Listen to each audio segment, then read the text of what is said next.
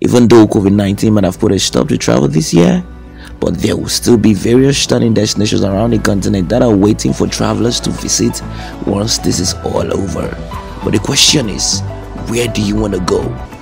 Here are some best destinations to visit in Europe 2021 as brought to you by The Unusual TV. Do subscribe to our YouTube channel by clicking the subscribe button below and turn on post notifications